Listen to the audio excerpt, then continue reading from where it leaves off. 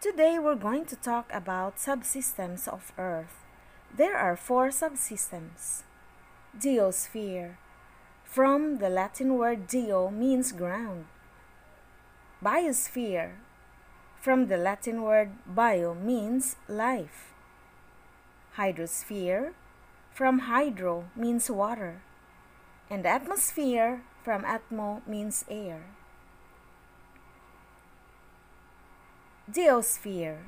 The geosphere describes all the rocks and minerals and other parts of the ground that are found on and also inside of the earth. Geosphere includes the inner core, outer core, crust, and the mantle. It includes ocean floor, all the rocks on the surface, the sand in the desert, and inside the earth.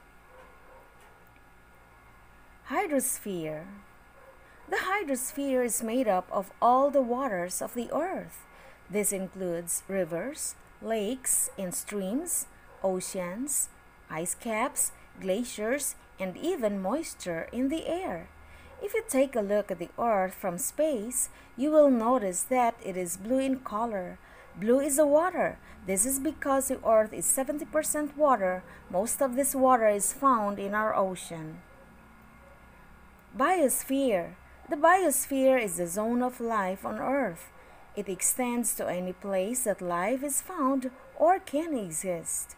This can be in the air, on the surface of the earth, in our oceans, or in any other location.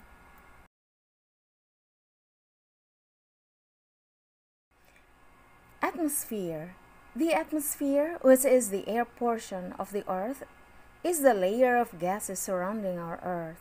The atmosphere of the Earth is composed of nitrogen, oxygen, some argon, carbon dioxide, and some other gases in small amounts. These gases are held in place by the pull of gravity. In summary, the Earth is made up of four subsystems the geosphere, hydrosphere, biosphere, and the atmosphere.